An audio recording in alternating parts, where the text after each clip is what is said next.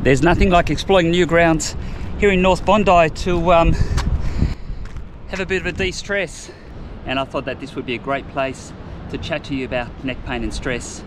So if you've had a bit of a sore neck and it's not going away, and you've had a bit on your plate, today I just want to point out the five characteristics that will indicate to you that it's probably all stress. Number one, the pain is quite ill-defined. In other words, the person's not generally going to be able to pinpoint it. It will be at the lower part of the neck. Um, it will generally be on both sides as opposed to one side. It won't change a lot um, and it may be associated with either a, a tight or a clenched jaw or even headaches. Number two, the pain is often described as a dull ache, um, a bit of a toothache, doesn't vary a lot in intensity, doesn't seem to change a lot.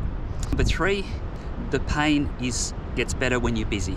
So the person might wake up in the morning with a bit of a sore neck, they get ready, they go to work. When they're at work, the pain goes away because they're able to think about other things. And then when they start driving home or they've got more time to themselves, the pain comes back. So that's a pretty good indicator that uh, stress is involved. Often we, the, the software is running in the background and, and, we don't even know it's going on. So uh, that's why it tends to get better um, when you're at work. Bit of a red flag here. Any headache that wakes you up should really be looked at by your GP. So please, if you have a headache that wakes you up at any time, then um, certainly lots of things can cause that. So go and see your doctor. Number four, the pain doesn't usually respond to painkillers like Panadol and Nurofen.